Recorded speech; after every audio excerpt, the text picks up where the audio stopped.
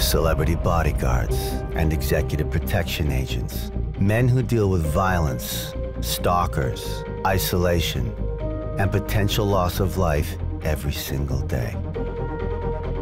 The greatest gift God gave us is life. The greatest gift a man could give another man is his own life. Explore the untold stories of the individuals who put their lives on the line to protect others from the dangers that accompany fame and power.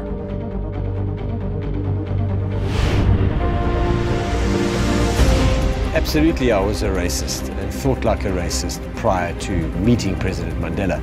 I would have died for Mandela.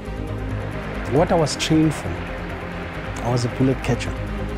Being a security guard, you need to be a leader. You need to take control of situations and understand how to communicate. You know, you're not only protecting someone's, you know, body, you're also protecting their heart, their mindset. If you asked me years ago to describe Whitey Bulger, I'd say he was a friend. You know, I really looked up to the guy, a mentor. He taught me a lot. That was the first time I'd uh, been involved in a murder with him. It was a double homicide.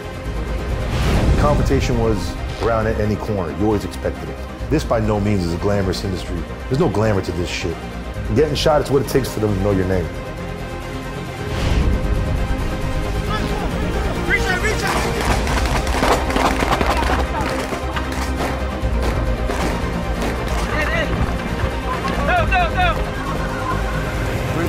Kill zone. Principals out the kill zone.